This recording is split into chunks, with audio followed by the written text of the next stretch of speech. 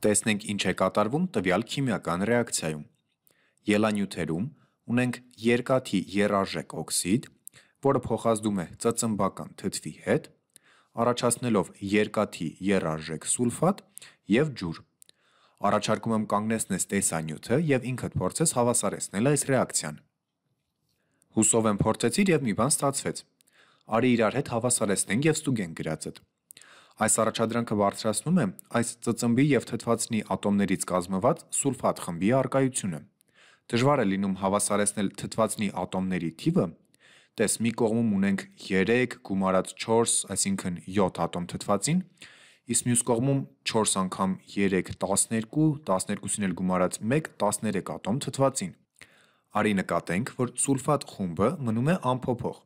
այն առկա է և ելանյութերում, և վերջանյութերում։ Այսինքն կարող ենք հավասարեցնել սուլֆատ խմբից դուրս գտնվող թթվածնի ատոմները, իսկ սուլֆատ խմբերն առանձին։ Ավելի լավ հասկանալու համար արի սուլֆատ խումբը նշանակենք X-ով։ Արի գրենք X-ը հավասար է SO4-ի։ Ուրեմն ունենալու ենք ֆերում 2 O3 գումարած H2 SO4-ի փոխարեն պայմանավորվել ենք գրել X H2X սրանք փոխազդելու են և առաջացնելու են. Ֆերում 2 կրկին ունենք SO4, որի փոխարեն գրելու ենք X և տես SO4 խմբից այստեղ կա 3 հատ, ուրեմն այստեղ կգրենք X3 գումարած ջուր։ Ահա, իհարկե, X-ը մի ամբողջ խմբի փոխարեն ենք գրել, բայց մտովի պատկերացնենք, որ այն դիտարկում ենք որպես առանձին տարրի ատոմ։ Այսինքն հավասարեցնենք այնպես, որ հավասարման երկու կողմում հավասար քանակի X-էր լինեն։ Սկսենք երկաթից։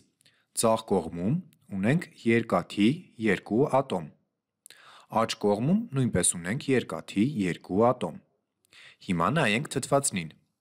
Ձախ կողմում ունենք 3 ատոմ թթվածին, իսկ աջ կողմում ունենք ընդամենը 1 ատոմ թթվածին։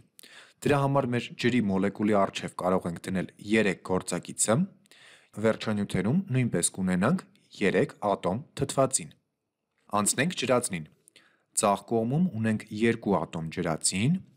իսկ աջ կողմում ունենք 3 անգամ 2, այսինքն 6 ատոմ ջրածին։ Դրա համար մեր մոլեկուլի առջև կգրենք 3 և 3 անգամ 2, այստեղ նույնպես կունենանք 6 ատոմ ջրածին։ Ստացվեց, որ երկաթի, թթվածնի և ջրածնի ատոմների թվերը ելանյութերում և վերջանյութերում հավասարվեցին։ Մնաց X-ը կամ սուլֆատ խումբը։ Ձախ կողմում այս մոլեկուլից ունենք 3 հատ, այսինքն 3 հատ ունենք նաև X։ Նայենք աջ կողմում գրված վերջանյութերին, այստեղ նույնպես ունենք 3X։ Համարյա ավարտեցինք։ Մնաց մեր սկզբնական ռեակցիայում գրենք արդեն ստացած գործակիցները։ Երկաթի երարժեք օքսիդի առջև գործակից չունենք, ծծմբական թթվի առջև կգրենք 3, ապա երկաթի երարժեք սուլֆատի առջև գործակից չունենք և ունենք 3 մոլեկուլ ջուր։ Այսինքն ստացվեց, որ 1 մոլեկուլ երկաթի երարժեք օքսիդը փոխազդում է 3 մոլեկուլ ծծմբական թթվի հետ, առաջացնում է 1 մոլեկուլ երկաթի երարժեք սուլֆատ և 3 մոլեկուլ ջուր։ Եվ մեր քիմիական ռեակցիան հավասարվեց։